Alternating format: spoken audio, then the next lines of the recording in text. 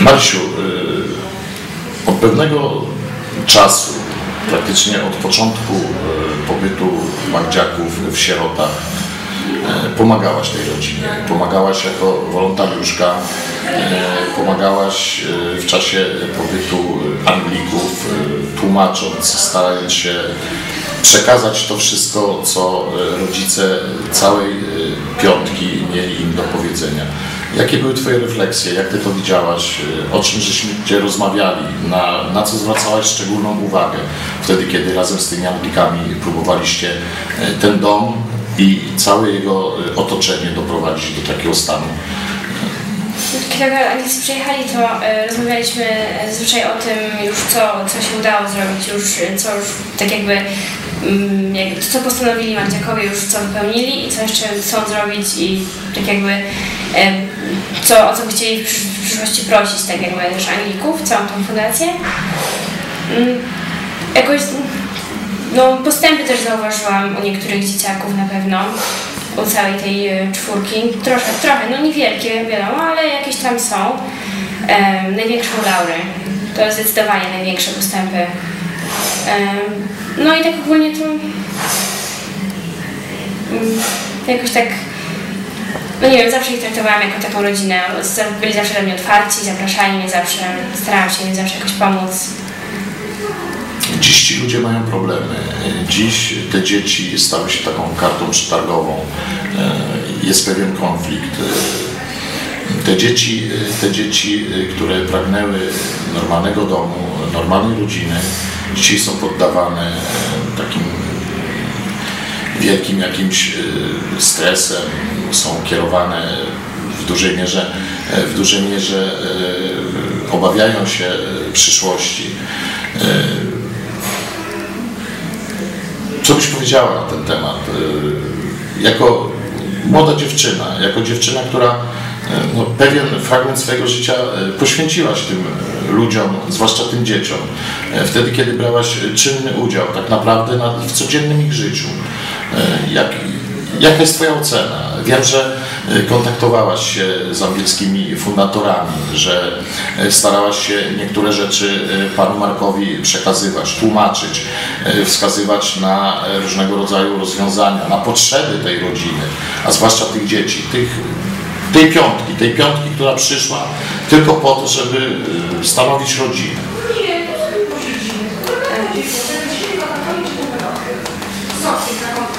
Jeszcze raz? Okej. Okay. Co byś powiedziała y, dziś Anglikom? Aha, no. Y, bo obserwowałaś to wszystko, co się wokół dzieje.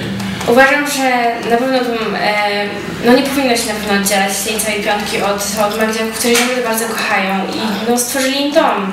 Całe tak jakby opakowanie, tak jakby no, mają szkołę, mają rodzeństwo też, e, które ich kocha i nawzajem świetnie się dogadują. Są razem, co jest najważniejsze, cała, bo tam czwórka to jest rodzeństwo takie bliskie, rodzone, więc to jest też najważniejsze, nie stali rozdzieleni. No i no, oddzielanie teraz, kiedy stworzyli więcej, są, są razem, oddzielanie ich jest po prostu brutalne i no, na pewno zostawi ślady na ich, na ich życiu w przyszłości.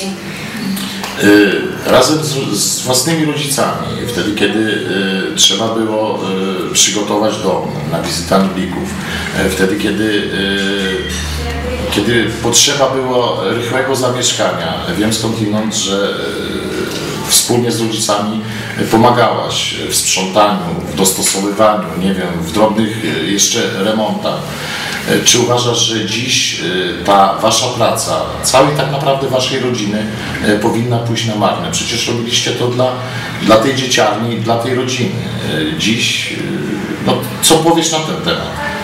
Czy jest to sprawiedliwe, tak? Jak to oceniasz? No to jest zdecydowanie niesprawiedliwe, że włożyli wszyscy, moja rodzina włożyła tyle, tyle pracy, też rodzina Magdziaków.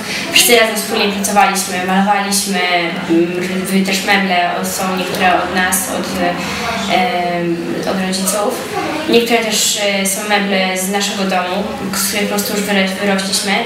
I no, nie powinno to pójść na marne, ani też no, niesprawiedliwością jest to odbierać, ponieważ no, każdy tak jakby włożył coś w to i oczekiwaliśmy, że to zostanie z nimi na długi, długi czas i że będą mogli z tego korzystać, że stworzy to lepsze środowisko dla dzieci. No i też no, cała moja rodzina, moja siostra, mój brat, y, moi rodzice, pracowaliśmy tam przez długi czas, y, odmalowując górę, każdy pokój dziecka został odmalowany.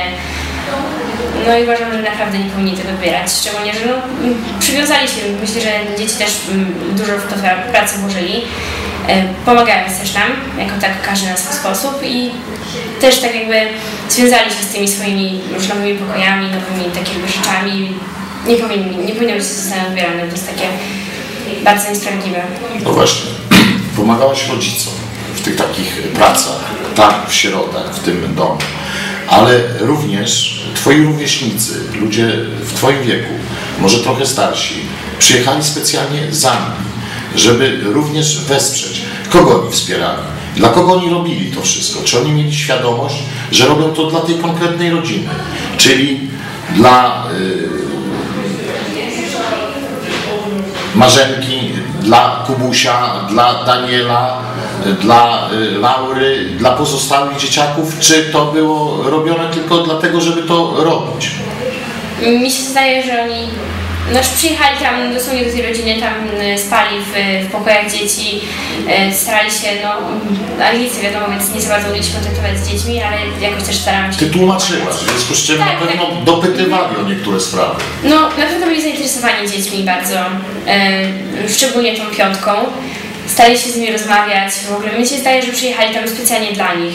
Byli z nimi na spacerze wiele razy, przywieźli jakieś tam drobne upominki.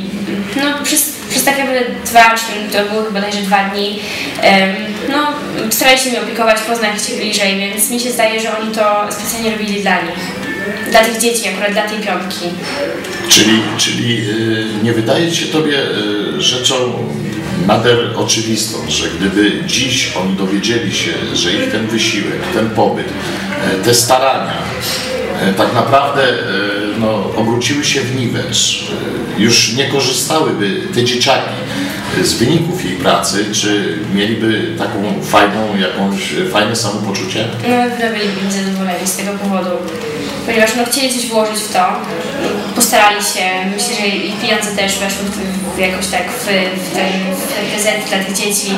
I no sam, sam tak jakby pobyt tam stałby się taki już nieważny, taki, więc uważam, że też to było mm, bardzo nie, no, nie, nie fair w stosunku do nich. Wiemy skądinąd, że e, gro e, różnych e, suwenirów, prezentów na wyspach, właśnie tam w Anglii zbierali Twoi rówieśnicy, prawda? E, też dla konkretnych dzieci, dla dzieci właśnie Magdziaków. E, to można było przeczytać w prasie angielskiej. Były apele, że należy wesprzeć tą konkretną rodzinę. Wiesz o tym doskonale. Co byś dziś po angielsku, w ich rodzinnym języku, tym ludziom, których spotkałaś tu w sierotach, powiedziała? Powiedz im po prostu po angielsku.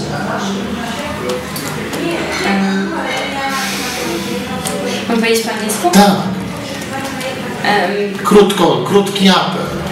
Uh, I think that you should fight for this family and uh, for their case because I think it's worth fighting for and that they are uh, full of love and hope and they should be listened. Dzięki.